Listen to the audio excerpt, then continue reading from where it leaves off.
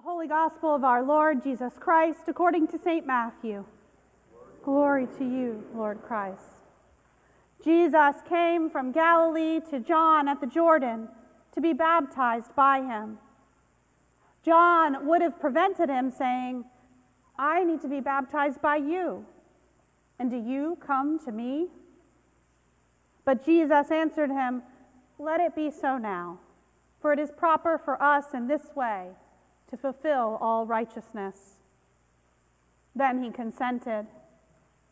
And when Jesus had been baptized, just as he came up from the water, suddenly the heavens were opened to him, and he saw the Spirit of God descending like a dove and alighting on him.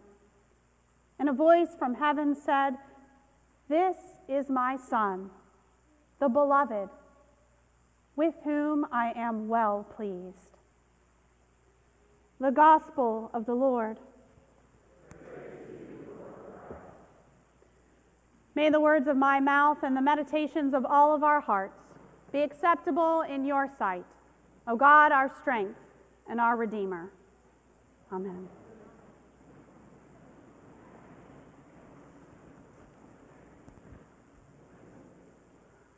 When my husband Casey was a teenager, his parents had a refrain, a kind of mantra they would say to him every time that he left the house. A lot of people do this with their kids, I think. I send my children off each morning with the reminder be brave and be kind. I've heard parents of teens through the years shout all sorts of reminders at their kids as they grabbed the keys and headed out the door. Be safe. Make good choices. Be home by curfew. Don't do anything I wouldn't do. We hope to leave our children with these last words as they head out into the scary world. We're giving them instructions or directions so that they will safely navigate whatever difficulties come their way. But Casey's parents, they said something different. Their last words before he ventured out each and every time, from when he was a teen until after he went away to college, they were always the same.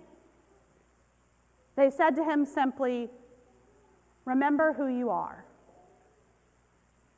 With the typical dismissiveness of a teenager, Casey usually rolled his eyes at these words. Duh! How could I forget who I am? But deep down, he got it. It sunk inside him so thoroughly that he remembers it with crystal clarity to this day. In fact, it's a phrase that has echoed through every decision and every major moment of his life since then. Remember who you are. Because the truth is, what Casey's teenage self needed most wasn't threats or reminders of the rules or last instructions on how to stay safe.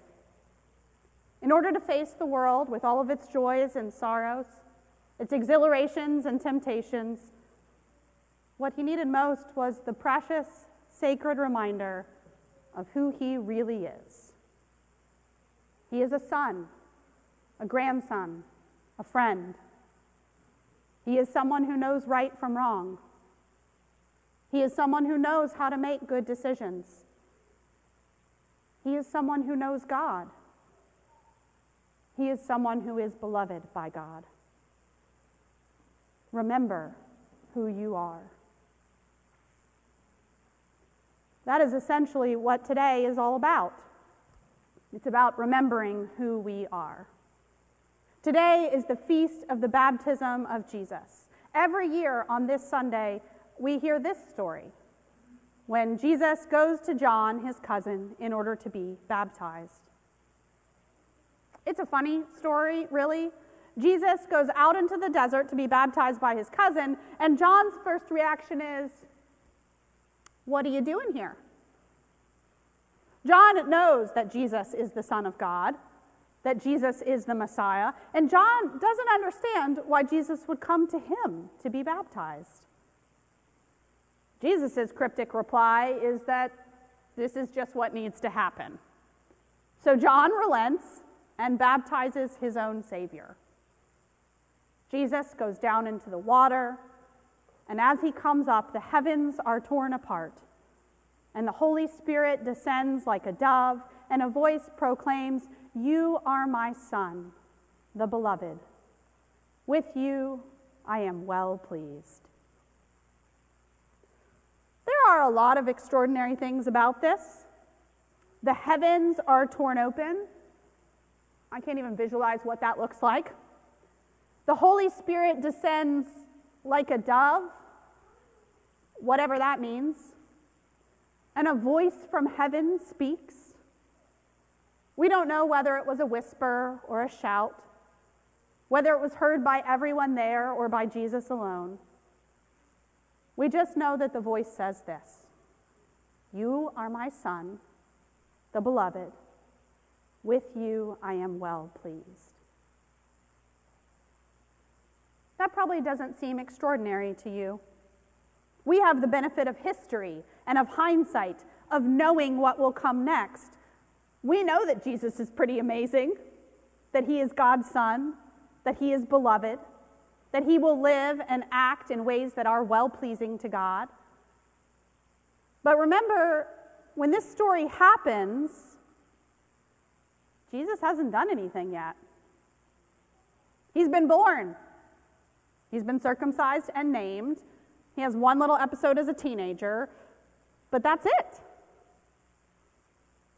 God proclaims that Jesus is his beloved, well pleasing Son before Jesus has done or said or taught a single thing. Before Jesus has resisted temptation.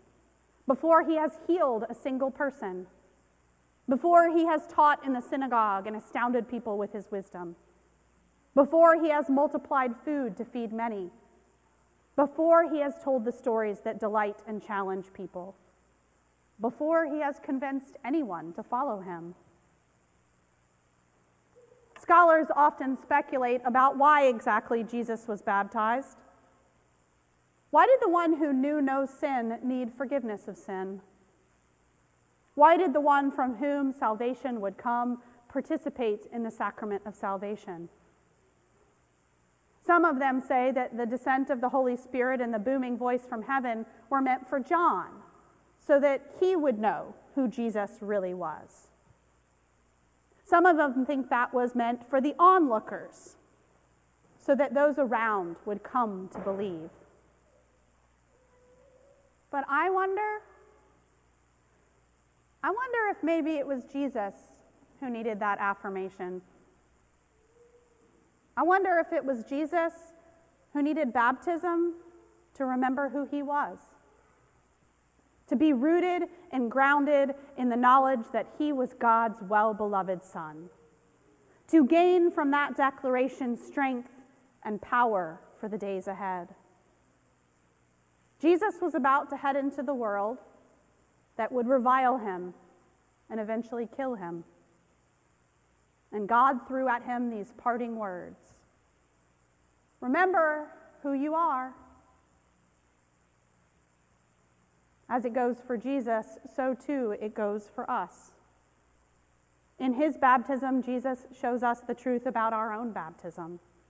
In his life with God, Jesus teaches us a pattern for our life with God. Baptism is essentially about remembering who we are. It's the reminder, the touchstone, this moment that we can return to again and again to reset ourselves. When you have to go out and face the world and all that it throws at you, you can do so rooted in the knowledge of who you are. Remember your baptism. Remember who you are. You are God's beloved child. You are sealed by the Holy Spirit in baptism and marked as Christ's own forever. You are forgiven of your sins. You are nourished by the body and blood of Jesus. You are a member of the body of Christ. That is who you really are. Baptism and worship are not things that we do to earn God's love. They are things that we do to remember who we really are, to get back in touch with our truest selves. Because when we remember who we are, when we remember that we are really God's beloved, well pleasing children, we can do incredible things. Not to earn God's love and favor, but because of it. Because we remember who we are and what we are capable of. We are beloved by God, so we can love our neighbors as ourselves. We are forgiven by God, so we can resist evil and ask for forgiveness. We are nourished by the body and blood of Jesus, so we can proclaim by word and example the good news of God in Christ. We are marked as Christ's own forever, so that we can seek and serve Christ in all people. We are filled by the power of the Holy Spirit, so we can strive for justice and peace among all people. In the end, Casey's parents had it right. He didn't need threats or instructions, he just needed to remember who he was. Everything else, every good decision, every hard choice, every incredible action would flow out of remembering who he was.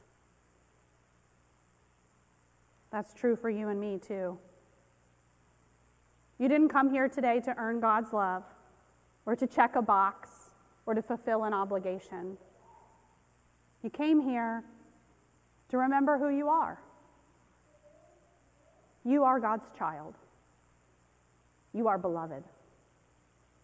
God is well pleased with you.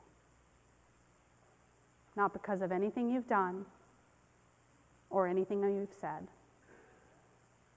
because that's who God is. And that's who you really are. Everything you ever do starts there, starts here, starts with this. Remember, remember who you are. In the name of God, Father, Son, and Holy Spirit. Amen.